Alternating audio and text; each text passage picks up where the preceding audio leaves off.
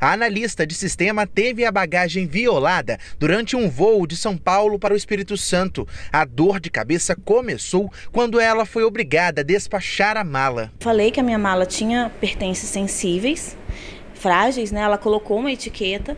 E aí, quando eu cheguei aqui no aeroporto de Vitória, a minha mala estava totalmente aberta. As minhas roupas estavam, inclusive roupas íntimas também, estavam do lado de fora da mala. Tanto que eu reconheci a minha mala, não foi nem pela mala, foi pelas roupas que eu vi uma, uma peça, uma peça de blusa minha e falei, ué, aquela ali é minha mala. Após liberar a mala, a jovem desconfiou que na parte de cima do avião ainda tinham vagas e acertou. Eu estava sentada numa fileira, o meu esposo em outra e a minha irmã em outra. E os nossos três, as três filas estavam vazias, tanto que aí meu marido pôde passar para o meu lado.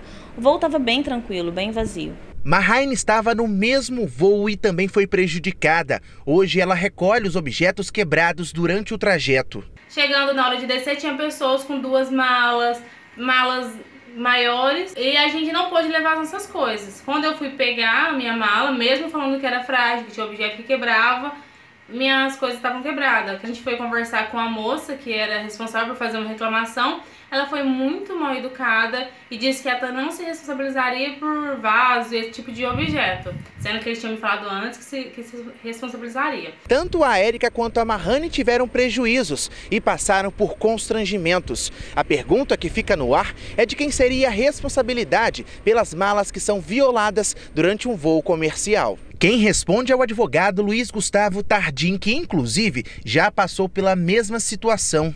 A responsabilidade é da companhia aérea. Quando o consumidor ele adquire uma passagem aérea, ele está também adquirindo um serviço de transporte, um contrato de transporte da bagagem dele.